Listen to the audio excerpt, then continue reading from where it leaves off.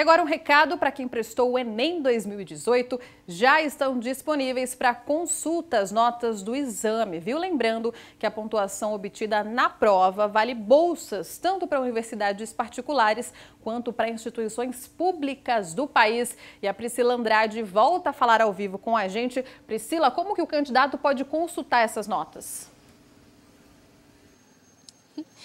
Isso mesmo, Jéssica. Bom, as notas já estão disponíveis através do site do INEP. Como é que os estudantes, os candidatos podem é, acessar as próprias notas? Primeiro vai lá no site e no setor de página do participante só inclui o CPF e uma senha pré-cadastrada. E aí a nota aparece, lembrando que é uma consulta de forma individual. Mas vamos lá, nem todo mundo vai poder aí acessar as notas.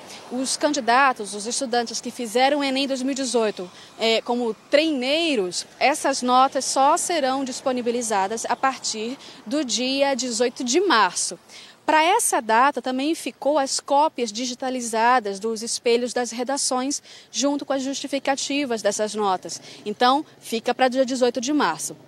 Para o restante dos candidatos, não, já está disponível desde as 10 da manhã. Agora, milhões de pessoas fizeram o Enem 2018, que é justamente com essa nota consegue galgar um espaço em uma universidade, tanto no ProUni, Universidade para Todos, no FIES e também uma vaga em uma das 37 universidades de Portugal. Agora, vamos lá, eu vou passar uma dica aqui que é só para quem assiste o SBT interior, porque o candidato aí que for acessar a nota, talvez possa encontrar um pouco de lentidão no sistema devido à quantidade de pessoas. A dica de ouro é a seguinte: se a ansiedade deixar, acessa a partir da meia-noite, que fica mais tranquilo. É, é de sério, essa dica é de ouro mesmo, viu, Jéssica?